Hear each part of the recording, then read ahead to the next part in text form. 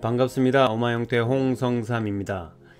지난 대구 전원주택의 구들 현장을 기준으로 구들 놓는 순서를 정리한 영상입니다. 기존 보일러 난방을 하는 방을 구들방으로 개보수한 건으로 구들방 만들기 상담에서 작업 그리고 마무리까지 순서를 정리합니다. 1차 상담을 통해서 진행 방향과 진행 과정을 설명드리고 대략적인 견적을 상담합니다. 그리고 집주인분의 의사결정이 되시면 현장을 방문하여 구체적인 작업 방향과 스케줄을 조율하여 작업을 진행합니다.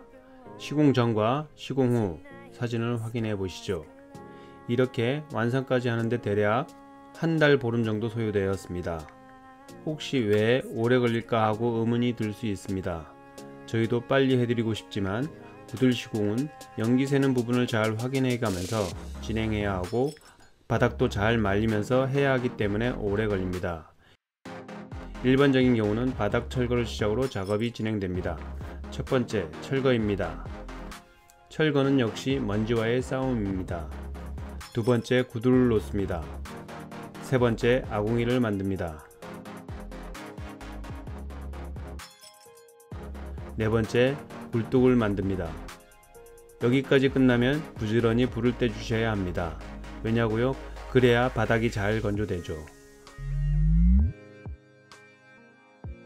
다섯 번째, 미장입니다.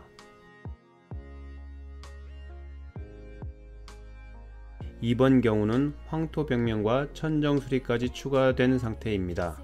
바닥 건조 상태를 확인하면서 중벌과 마감 미장을 합니다.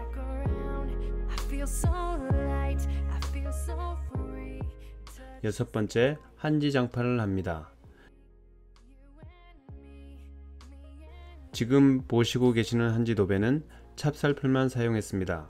그리고 한지장판도 수제 콩댐 작업으로 하였습니다.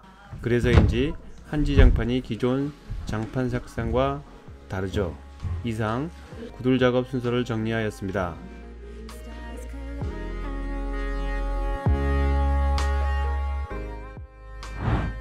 감사합니다.